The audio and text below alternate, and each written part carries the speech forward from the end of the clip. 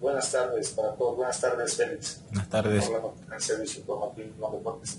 Félix, este, ¿cómo se, ¿cómo se ha preparado el equipo para este partido de este fin de semana contra uno de los equipos que tiene mucha calidad en sus jugadores? ¿Y cómo lo van a enfrentar ustedes hoy en día este, este, este partido contra Tigres?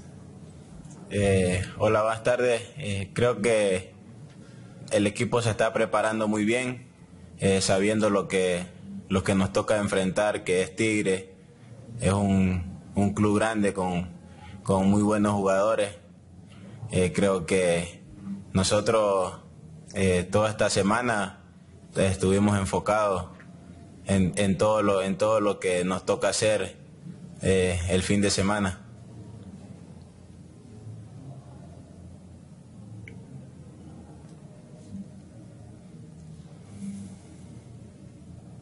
¿Alguna otra pregunta? ¿Se puede otra, Carlos? Sí, adelante, por favor. Félix, este, ¿qué tanto va a aportar ahora con la llegada de este nuevo refuerzo eh, holandés a, ustedes? ¿Cómo lo ven a, este Alessio? ¿Qué tanto les puede aportar a ustedes, a tanto en la ofensiva como al grupo, es la calidad de jugador que viene a mostrarse hoy en día un jugador europeo a Club Santos. Creo que es muy bueno, muy bueno eh, la incorporación de, de Alessio. Eh, en sus videos que, hemos visto y todo, todas esas cosas, creo que es un jugador muy hábil, un, goleador, creo que nos va a aportar muchísimo al grupo.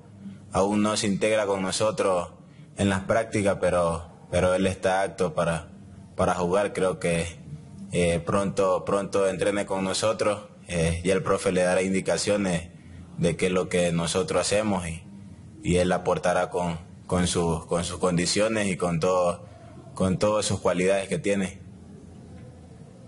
Marcelino.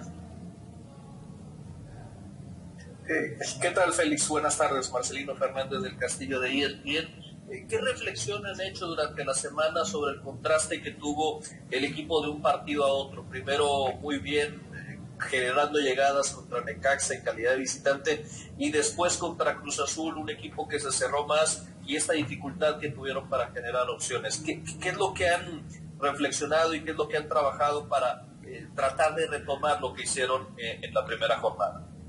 Bueno, creo que del, primer partido al segundo que, jugamos contra Cruz Azul, un partido muy cerrado. El equipo encontró, encontró su juego, eh, eh, cerrando sus líneas. Creo que nosotros eh, no encontramos ese espacio, no encontramos esa, esa, esa movilidad que, deberíamos tener contra un equipo que, que te juega de esa manera. Creo que Cruz Azul hizo su, planteó su buen partido así y nosotros como somos un equipo que proponemos siempre, eh, creo que se nos hizo un poco complicado que el otro equipo no salga a proponer, se complica el partido.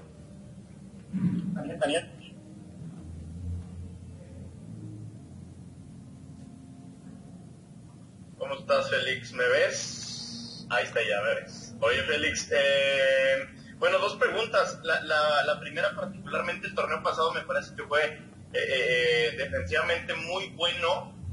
Hoy, ¿cuál sería la meta? Y me refiero al objetivo puntualmente, si tienen un límite de, goles por recibir o, qué es lo que les ha pedido puntualmente el profe. Y la segunda te la hago en unos instantes más. Pues creo que sí, nos hemos planteado seguir mejorando eh, seguir siendo una, una defensa sólida y, y creo que eh, el aprendizaje de, cada partido no va a dar para nosotros, nosotros fortalecernos y, y saber eh, en dónde tenemos que, que trabajar para, para seguir siendo esa, esa defensa menos abatida.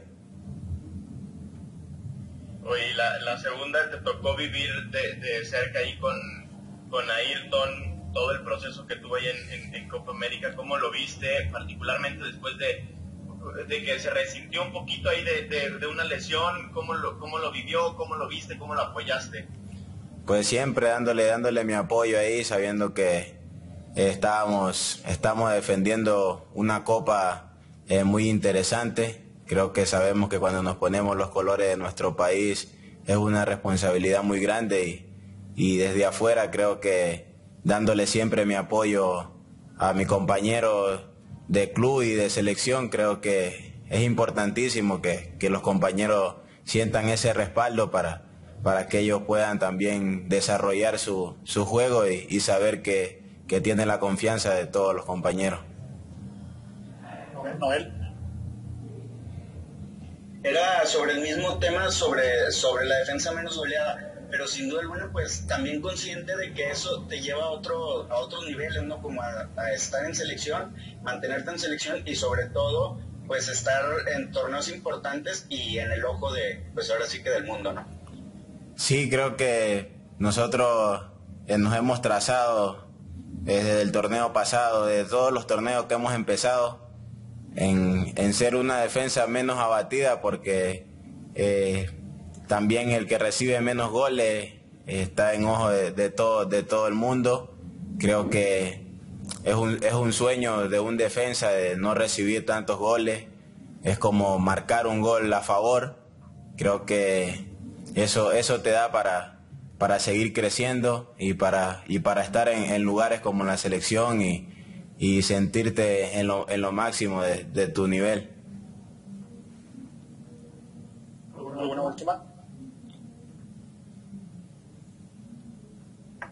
Vamos contigo, Fernanda, por favor. Sí, buenas tardes, Félix. Soy Fernanda López para Podium Deportes. Yo quiero preguntarte a ti personalmente qué motivaciones tienes para seguir manteniendo tu titularidad en el equipo.